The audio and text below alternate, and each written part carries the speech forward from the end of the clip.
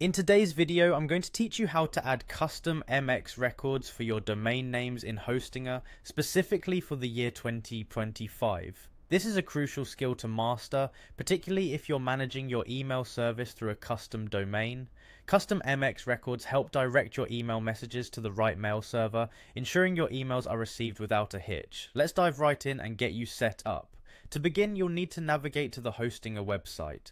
Hostinger is your go-to platform for bringing your ideas online with a website. If you haven't done this before, simply open a web browser and type in Hostinger's URL, which will bring you straight to their homepage. Once you're on the homepage, the next step is to log into your Hostinger account. Look for the login button, which is usually located at the top of the page, and click on it. If you're not already a Hostinger user, you might need to create an account first to proceed with these steps. But assuming you have an account, just fill in your credentials and sign in.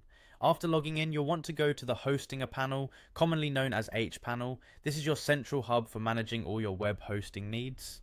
From the hPanel, you'll be managing your domain settings, so go ahead and find your way to the home page of the hPanel. Now that you're in the Hostinger panel, look for the domain section. Specifically, you'll need to navigate to the domain portfolio area. This section compiles all the domains you have registered through Hostinger. Click on it and you'll see a list of your domains displayed. With your domains clearly in view, the next move is to select the one you wish to manage. Hover over the domain name and click on the Manage button. This will lead you to the domain management page, where you can adjust various settings related to your domain. On the domain management page, locate the DNS or name server section.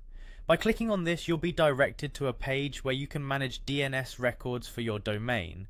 This section is crucial for altering how internet traffic is managed for your domain, including email routing. Inside the DNS management area, look for the option labelled Type. Clicking on it will allow you to select different types of DNS records. Since we're focusing on MX records, scroll through and click on the MX option.